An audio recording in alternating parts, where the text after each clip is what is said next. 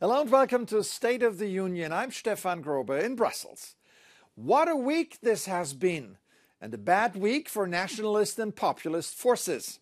French voters produced a reverse shocker by keeping the far right far away from power in the second round of the general election.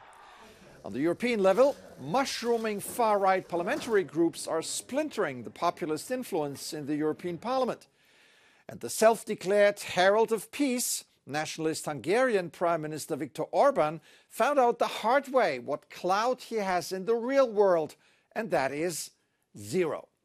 Just days into his new role as rotating EU Council President, Orban traveled to Moscow and Beijing on what he bombastically called peace mission to end the war in Ukraine. Well, not only did he come back empty-handed, but he was also read the riot act by the rest of the EU. Here's Polish Prime Minister Donald Tusk, who will take over the EU presidency in January. Że nikt nie ma prawa bez Ukrainy, a w imieniu Ukrainy decydować o przyszłym pokoju i jego kształcie. Nikt nie ma prawa występować w imieniu Polski czy całej Unii Europejskiej bez pełnego porozumienia z Ukrainą i z nami wszystkimi, jeśli chodzi o ewentualne rozmowy z Moskwą. Osobiście też będę i naprawdę skutecznie będę pilnował tego w Unii Europejskiej. Some member states are so angry at Budapest, they now even want to shorten the Hungarian presidency. That doesn't seem to go anywhere, but the first Hungary chaired council meetings were snubbed by ministers who sent civil servants instead.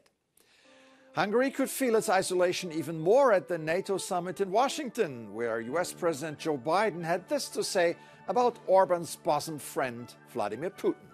Putin wants nothing less, nothing less than Ukraine's total subjugation, to end Ukraine's democracy, to destroy Ukraine's, Ukraine's culture, and to wipe Ukraine off the map. And we know Putin won't stop at Ukraine. But make no mistake, Ukraine can and will stop Putin. The Washington summit was meant to present a united front and show that in its 75th year, the alliance is as strong as ever. But it was overshadowed by a series of crises, of which questions about President Biden's fitness for office at 81 was probably the least of the problems. So, what's in store for NATO going forward? Joining me now is Ian Lesser, Executive Director of the Brussels office of the German Marshall Fund. Welcome to the program. Good to be with you. So, President Biden has called the alliance the most unified it has ever been. But behind the scenes, the mood was rather gloomy. What are the most important challenges for NATO going forward? Well, above all, even though this is the 75th uh, anniversary and it has, a, in some sense, a celebratory character to it, uh, there is a war going on in Europe.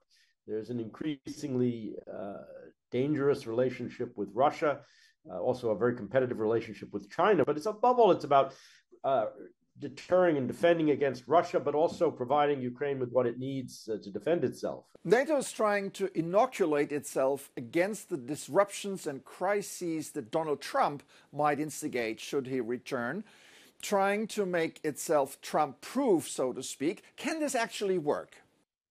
Well, NATO has had some experience with this. Of course, we don't know what the outcome will be in Washington. Uh, but even if Biden is reelected, there are going to be big challenges for NATO. Any American administration is going to keep coming to Europe and asking Europe to spend more and do more. And of course, NATO has been doing some of that, but the challenges are very large and the requirements are very big. Uh, but of course, that's a much more pointed issue if Trump is reelected. And um, and there is some desire to try to put Europe in a more stable position in that regard. Yes, there is Trump, but there's also growing power of far right forces unfriendly to NATO in Europe. How serious a problem is this for the alliance? Well, far right, but also in some in some cases also on the left, uh, parties that are not always supportive of the transatlantic relationship. Um, this too can be a problem. It can be a problem in terms of uh, policy towards Russia, support for Ukraine, defense spending.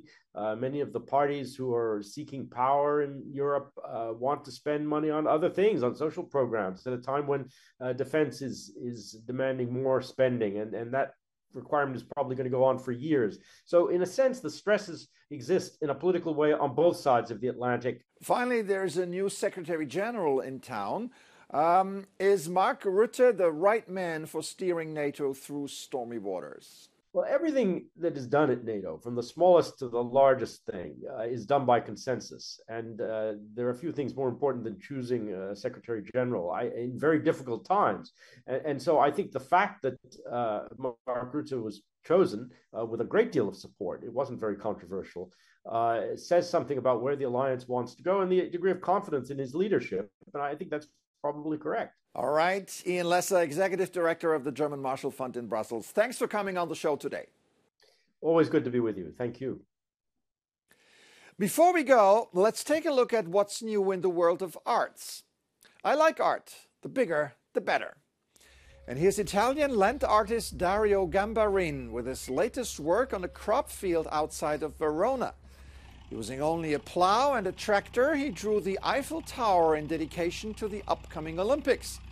It's a contribution to peace in hopes that sports will unite people all over the world, he says. Over in London's Kensington Gardens, a mammoth sized pumpkin is quite the spectacle. The bronze sculpture is the largest pumpkin by Japanese artist Yayoi Kusama and is part of the Serpentine Gallery's public art program.